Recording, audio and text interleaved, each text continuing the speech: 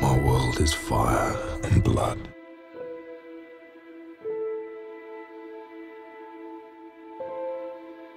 As the world fell,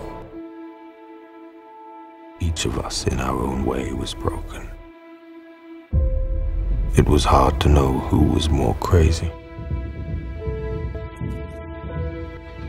Me or everyone else.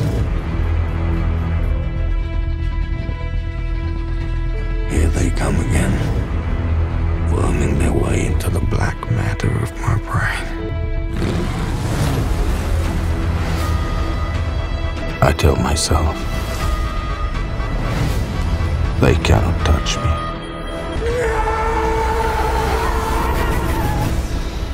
They are long dead.